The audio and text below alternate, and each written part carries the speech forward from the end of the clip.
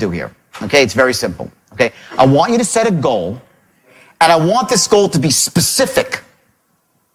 Specific for the amount of money you want to be earning at that point. I want you to break it down into how many sales you need to be closing to get to the point you want as a salesperson. Mostly salespeople here. How many hours a week you gotta be working or a day.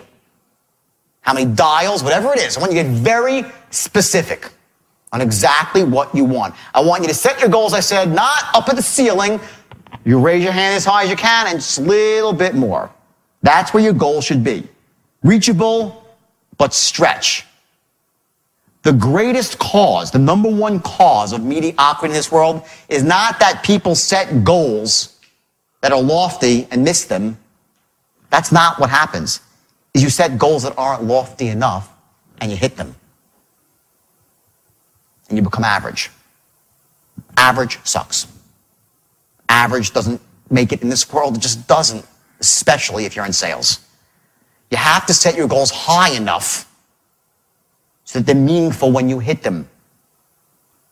Or else you'll set these little goals. Oh, I got my goal, great. I'm, nothing happens.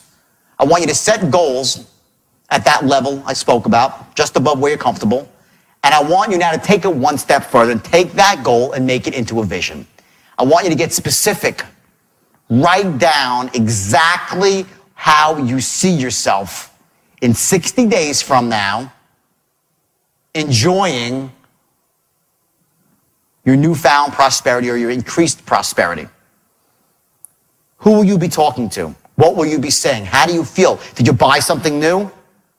Is there something in your house you wanted to get fixed? Is there a credit card bill that's overdue that you couldn't pay?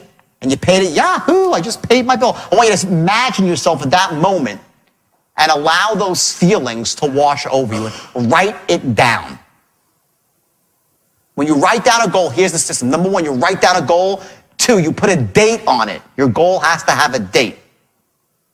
Step three, identify the peoples, the groups, and the organizations you need to align yourself with. Step four, you take massive action. Step five, see what's working and what's not and change your approach accordingly. That's it. Set a goal, put a date on it. Identify the peoples, groups, and organizations standing in your way or you need to align yourself with. The obstacles. Take massive action. See what's working, see what's not working, and you change your approach. You set a goal, you got to do seven things, you accomplish three, great. Excellent. Four didn't work, what's not working? Tweak it. You don't do the same thing over and over again. That's the definition of insanity, right? To do the same thing again and again and expect a different result.